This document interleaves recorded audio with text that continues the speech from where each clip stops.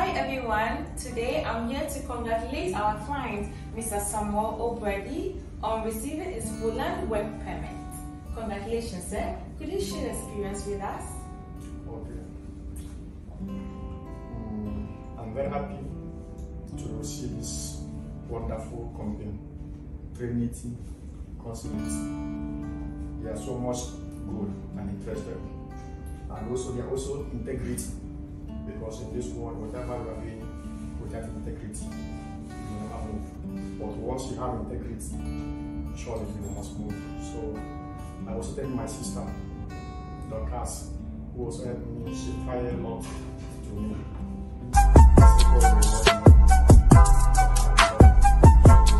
Telling all my Nigerians, Africans, whoever want to travel, they should come. Here is integrity.